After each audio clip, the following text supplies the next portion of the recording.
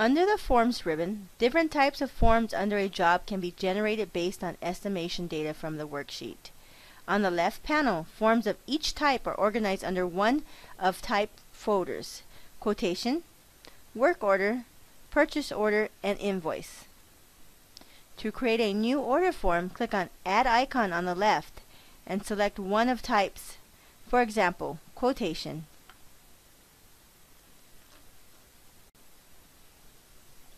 A wizard window pops up as step 1 to collect customer and job info information.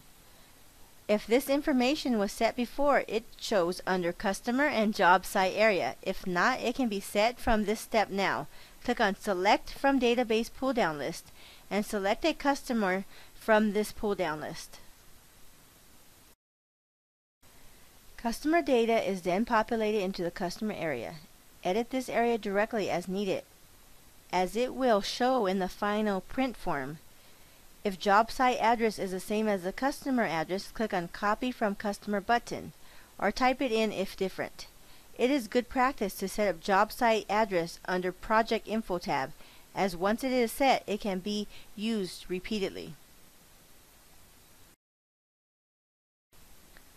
Check on Show Heading Info in form.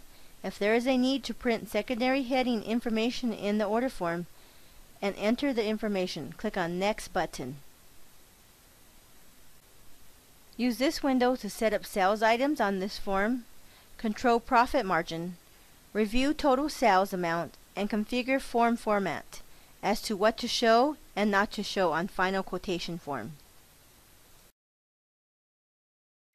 Estimating data are automatically loaded from the worksheet when creating a new form. There are three ways to add extra items into this form. From scratch, from the Add Any Item icon button, or from the Add from the Database button. To edit detailed information about an item, select the item and click Edit icon, or right-click. Select Edit Item so more detailed fields such as cost price and box prices are editable. This item table columns can be configured by clicking columns icon which controls what columns are to be displayed in this table. That is also what is printed on the final form. At the lower section, a control panel contains options to control items grouping, container pricing, to round up item quantity, to set tax rate, and to review and set profitability.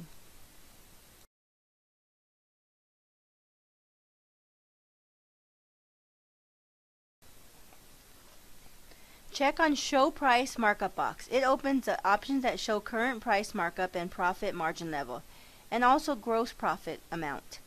To adjust price markup or profit margin, Select from the pull-down list, select a percentage from the list, or simply type in a number. Please note that the pricing concepts markup means percentage add to the base cost price, whereas profit margin means percentage to the gross profit in the sales price. When selecting a number, the program applies to all items in this table, and all summary numbers on the table panel are adjusted accordingly.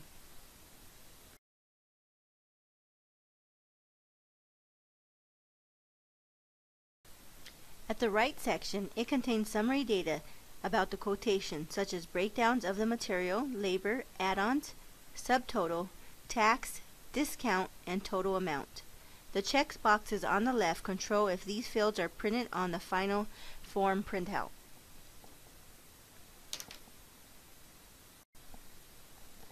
One may put it in a deposit amount as well, so the balance is calculated accordingly, and both are printed on the final form.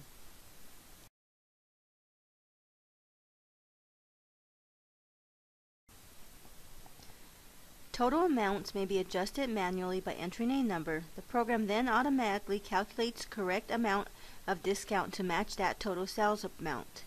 In another scenario, if one enters a discount amount, total amount will be adjusted accordingly as well. Either way, the profit margin and markup percentages reflect the changes.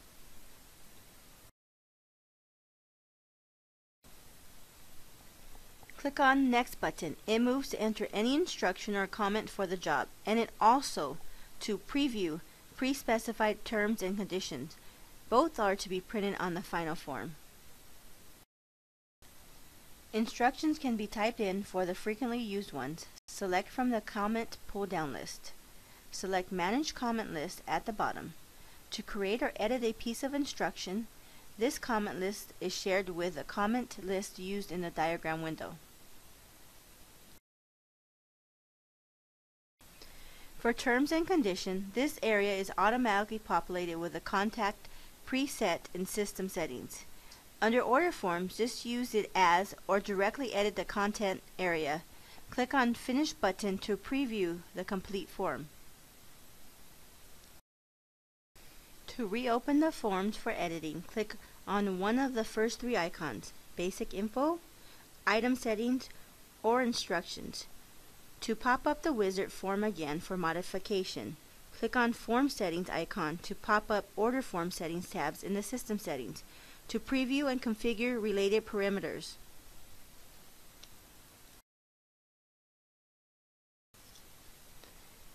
If the customer signature needs to be captured with this form, click on Sign icon. Print name is auto-filled if it was entered in the project info. A stylus pin can be used to sign in the blank area in the pop-up window. Click on OK. The signature is shown in the preview and will be there in the printout. The quotation forms can be printed, exported to an Excel file, exported into QuickBooks, or converted into an invoice form. Refer to Advanced section for exporting to QuickBooks.